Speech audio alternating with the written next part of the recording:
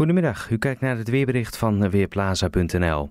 Op de satellietfoto van kwart over één vanmiddag kunnen we zien dat er veel bewolking ligt over de Britse eilanden en een deel van de Noordzee. Dat hoort bij een storing die vooralsnog ten westen van ons land blijft. In Nederland is het zonovergoten, dat kunnen we ook zien als we nog wat dichterbij gaan kijken. Alleen over het westen en noordwesten van het land drijven soms wat hoge wolkensluiers, maar de zon breekt daar gewoon goed doorheen. Het is ook overal zeer warm, temperaturen op boven de 30 graden op de meeste plaatsen. Dit is het maximum tot ongeveer 2 uur vanmiddag. Er komt nog 1 tot 3 graden bij, dus dat betekent plaatselijk 34 graden vandaag.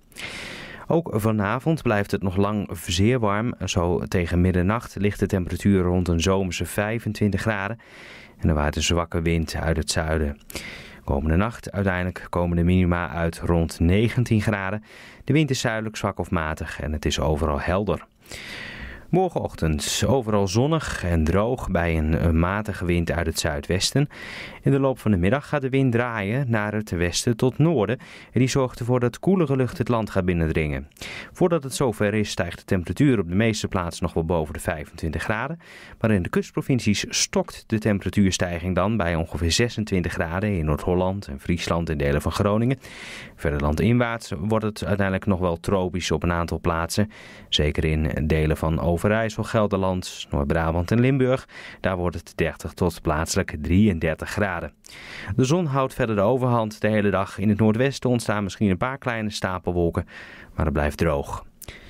In het weekende is de weersverwachting wat onzeker. De lucht wordt onstabiel van opbouw en er kunnen dan een aantal regen- en onweersbuien tot ontwikkeling gaan komen. Op dit moment lijkt het erop dat de meeste buien zich voordoen in de nacht van zaterdag op zondag, maar ook zaterdag overdag en zondag smiddags zijn er wat buien mogelijk, maar het is nog erg onzeker waar en wanneer ze gaan vallen of dat ze zelfs überhaupt wel gaan vallen. Want als het mee zit, dan blijft het gewoon droog en schijnt de zon flink.